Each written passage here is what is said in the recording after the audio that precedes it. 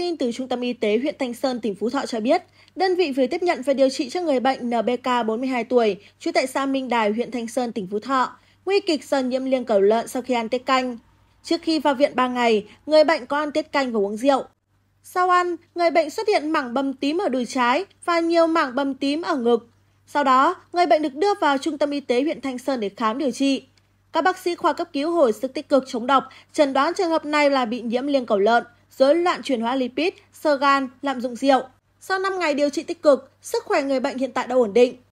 Mặc dù đã được cảnh báo rất nhiều về mức độ nguy hiểm sau khi ăn tiết canh bởi vì trong tiết canh chứa rất nhiều mầm bệnh nguy hiểm.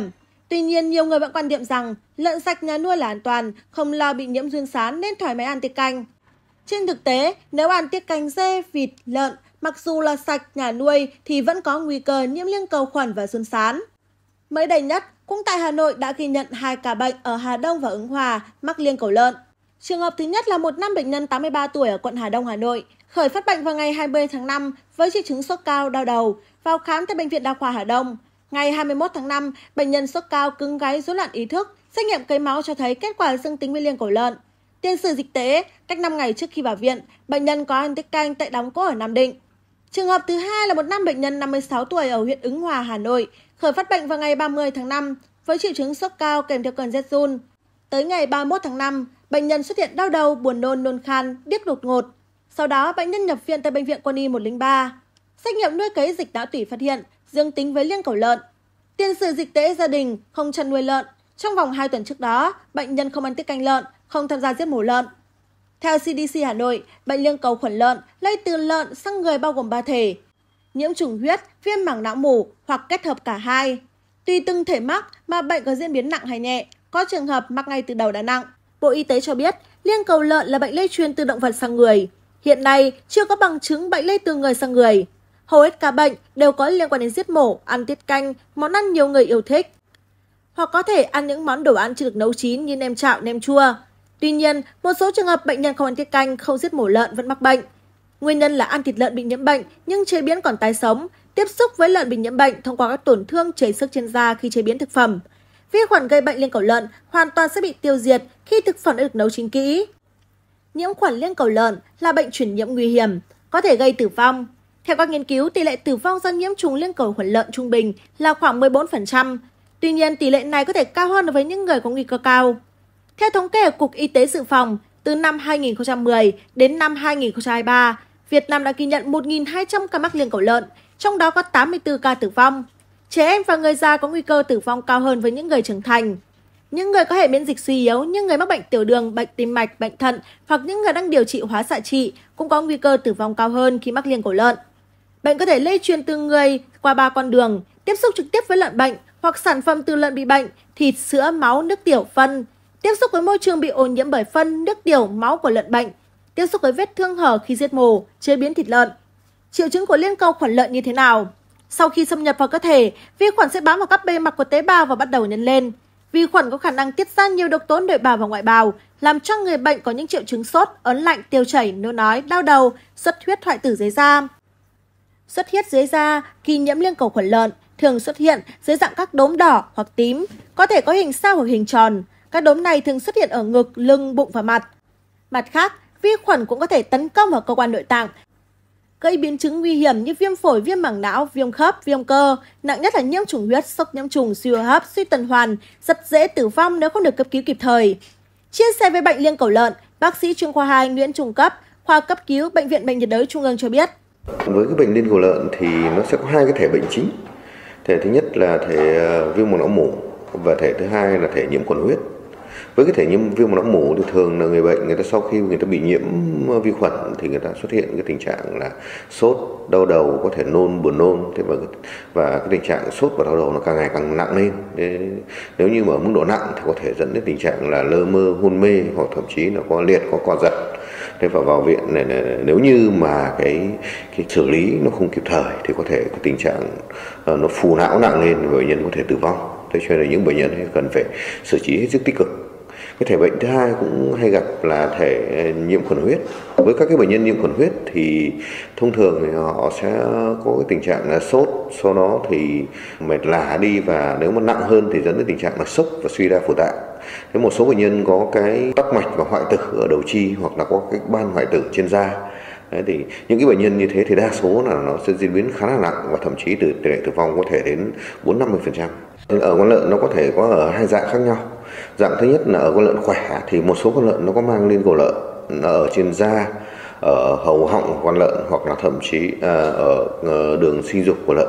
Và nếu như chúng ta ăn phải cái sản phẩm ấy nó chưa nấu chín thì chúng ta nuốt phải cái liên cổ lợn. Và nó tùy theo cái khả năng uh, miễn dịch của từng người mà người ta có thể chiến thắng cái liên cổ lợn đấy hoặc là người ta bị mắc bệnh. Tuy nhiên là ở những con lợn mà bị ốm thì có thể không chỉ liên cổ lợn nó ở da ở họng hoặc ở đường sinh dục, mà thậm chí nó lan tràn cả vào trong phổi, trong máu, trong các phủ tạng khác của lợn. Và lúc bây giờ khi chúng ta ăn thì cái nguy cơ bị nhiễm bệnh nó tăng lên rất nhiều.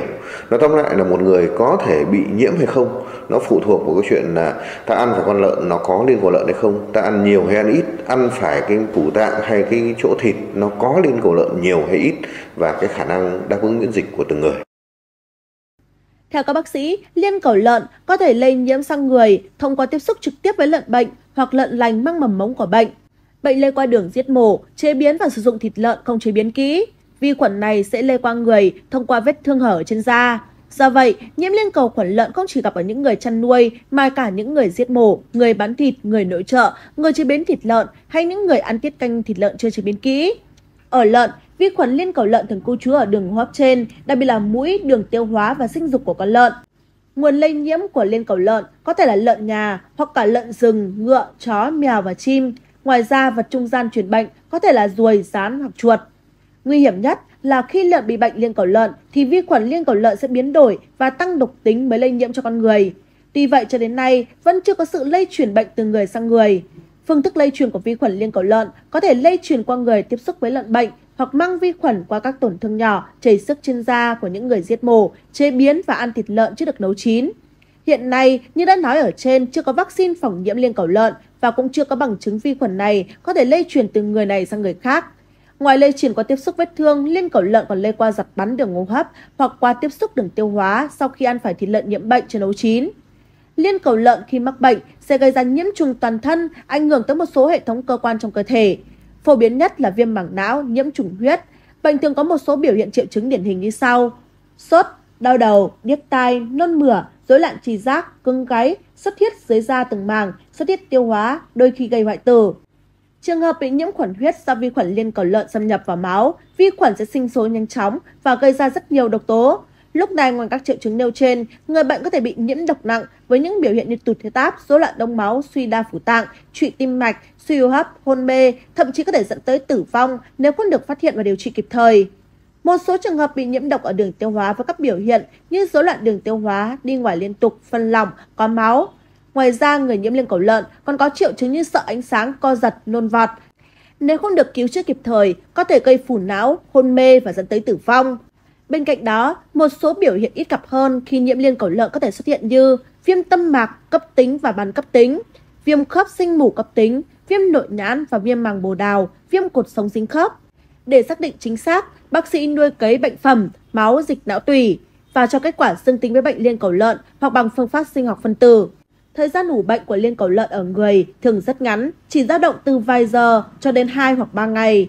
Liên cầu lợn ở người xâm nhập trực tiếp qua máu qua vết thương ở trên da. Bệnh liên cầu lợn không chỉ gây tổn thất to lớn về kinh tế mà còn ảnh hưởng nghiêm trọng tới sức khỏe của con người, có thể dẫn tới nguy kịch tử vong nếu không được phát hiện và điều trị kịp thời. Các bệnh lý nguy hiểm mà người bệnh thường gặp khi nhiễm liên cầu khuẩn lợn đó là viêm phổi, viêm mảng não, viêm cơ tim và viêm khớp. Nếu không được điều trị kịp thời sẽ dẫn tới tử vong do độc tố vi khuẩn gây ra sốc nhiễm khuẩn, viêm nội tâm mạc, suy đa phủ tạng, nhiễm khuẩn huyết. Bệnh nhiễm liên cầu lợn có thời gian ủ bệnh ngắn, nhưng bệnh diễn tiến rất nhanh và có thể dẫn tới suy đa tạng nhanh chóng. Bệnh nhiễm liên cầu lợn có biểu hiện dưới hai thể lâm sàng chính bao gồm viêm mảng não mủ và nhiễm khuẩn huyết. Viêm mảng não mủ sẽ gây ra những triệu chứng như sốt cao, hội chứng mảng não, đau đầu, nôn, dấu hiệu kích thích mảng não. Người bệnh sẽ chậm chạp, lú lẫn, hôn mê hoặc kích động, co giật.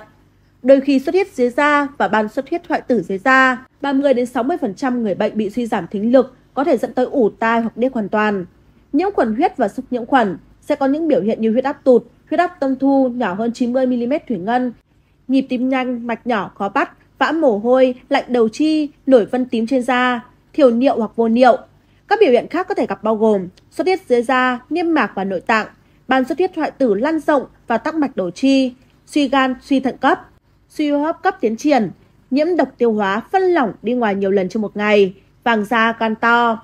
Trong bệnh liên cầu lợn, hay gặp nhất đó là nhiễm khuẩn huyết, vi khuẩn liên cầu lợn vào máu, nhân lên nhanh chóng và đồng thời tiết ra nhiều độc tố. Khi nhiễm khuẩn huyết, ngoài các triệu chứng như trên, người bệnh có thể bị nhiễm độc tố rất nặng, biểu hiện như tụt huyết áp nhanh chóng, mạch nhanh, nhỏ khó bắt, trụy tim mạch, suy hô hấp, có thể dẫn tới tử vong nếu không điều trị can thiệp sớm. Một số trường hợp xuất hiện nhiễm độc đường tiêu hóa như rối loạn tiêu hóa, đi ngoài phân lỏng phân lỏng có máu người bệnh có thể bị viêm mảng não do vi khuẩn liên cầu lợn như sốt cao, co giật.